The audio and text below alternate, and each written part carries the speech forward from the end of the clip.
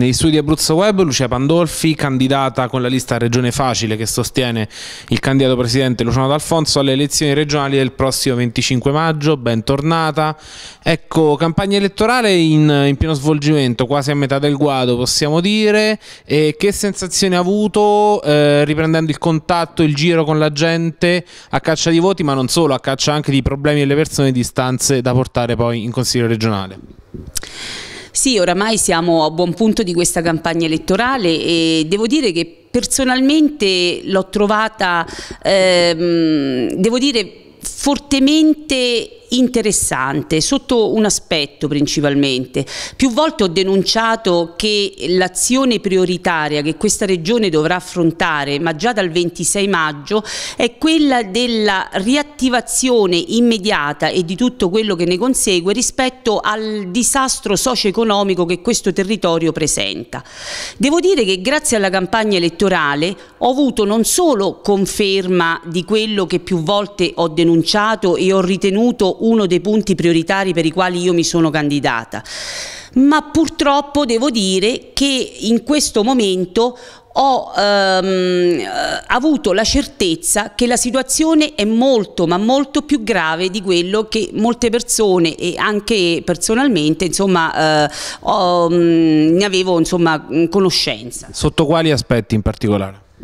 Ma guardate, io credo che il problema della difficoltà delle imprese e quindi di tutto quello che eh, insomma delle imprese sia rispetto al, ehm, insomma, al, al, lavoro, a tutto quello che ne, ne consegue nella eh, difficoltà di poter prendere diciamo, la, eh, il lavoro dal, mm, eh, da questa ricostruzione no? che comunque si presentava tra l'altro come un'occasione unica in questo territorio per poter far riattivare perlomeno l'economia locale. E mh, devo dirvi che eh, l'aspetto più grave che ho trovato è che le imprese non solo eh, non sono riuscite ad ottenere eh, quello che immaginavamo potessero ottenere in un cantiere che era stato definito il più grande d'Europa, ma devo dire che tra l'altro un po' per eh, le difficoltà che tutti insomma conosciamo eh, rispetto per esempio anche alle piccole imprese che si sono trovate con eh, il dover confrontarsi con grossi colossi venuti da fuori, con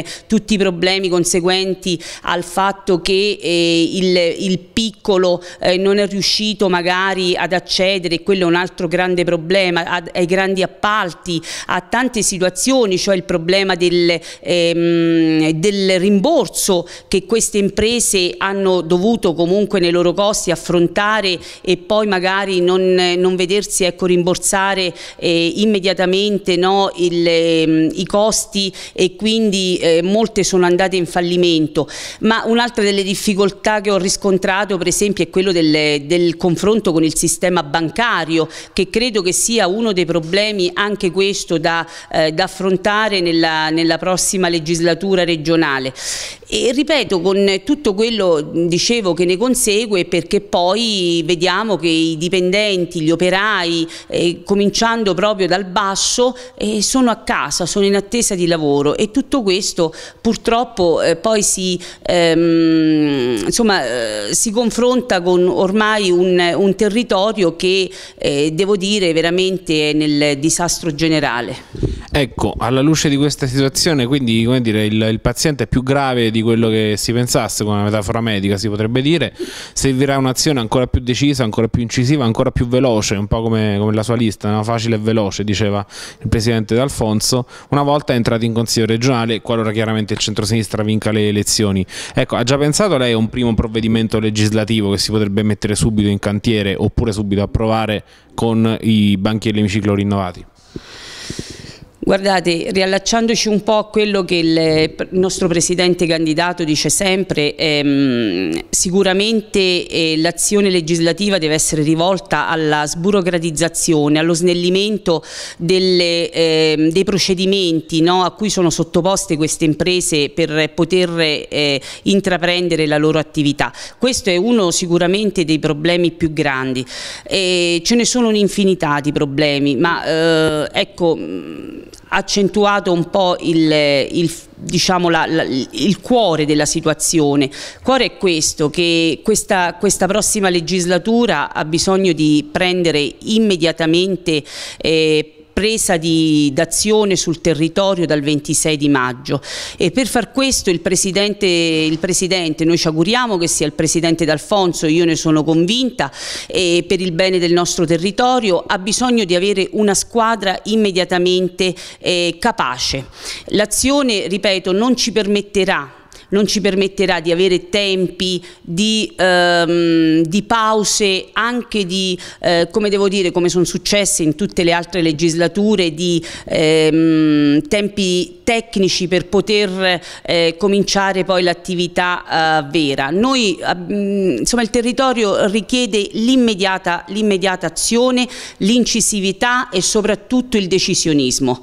Questo è uno, secondo me, dei fattori più importanti, il decisionismo eh, non abbiamo più tempo e in questo riponiamo tutti quanti la nostra fiducia, intanto nelle, nelle capacità del nostro candidato presidente e soprattutto eh, in quello che eh, insomma io in questo momento farei anche un appello un po' ai cittadini aquilani. Ehm, andate vi prego tutti quanti a votare. Non fermatevi perché questo sarà il vostro contributo più grande per questo territorio e soprattutto scegliete i rappresentanti che riterrete insomma, eh, più capaci eh, con eh, l'esperienza dovuta per poter agire immediatamente eh, rispetto a quello che io precedentemente appunto accennavo come una necessità immediata. Ecco, a tal proposito si dice agli aquilani votate e votate Aquilano, però non è così facile perché nonostante la partenza appunto il panorama si è parcellizzato, eh, ci sono candidati del PD, ci sono lei e altri nel, nelle liste civiche del Presidente, c'è la variabile di Abruzzo Civico che ha trovato ospite eh, un altro ex sindaco come lei, Gianni Anastasio, quindi insomma eh, il panorama è abbastanza, mh, abbastanza variegato, chi danneggerà e chi favorirà questo? Mi appello nuovamente alla responsabilità di ogni cittadino, io mh, penso che eh, c'è possibilità di poter scegliere. La conoscenza di ognuno di noi credo che sia abbastanza nota, ognuno di noi ha una sua storia, almeno per la maggior parte dei candidati, ha un, una sua personalità politica e credo che i cittadini possano con certezza fare la loro scelta. È logico, un po', insomma, eh, questo credo che sia un po' il pensiero di tutti, sicuramente eh, mai si, è, si può essere certi al 100% della riuscita, però è pur vero che una decisione deve essere presa, che eh, la fiducia va riposta a quello che ognuno di noi pensa che possa essere riposta meglio, ma soprattutto io lo ripeto, che ogni cittadino senta la responsabilità e soprattutto la voglia di eh, voler scegliersi il candidato che ritiene migliore. Questo perché non c'è cosa peggiore, a mio parere, quando un territorio decide che il segno di un'eventuale protesta, che la possibilità di far fare agli altri possa essere diciamo, la soluzione, non c'è cosa peggiore per poi ritrovarci in un paese che sicuramente, a mio parere, non avrà un futuro eh, migliore di questo. Grazie Lucia Pandolfi. Grazie.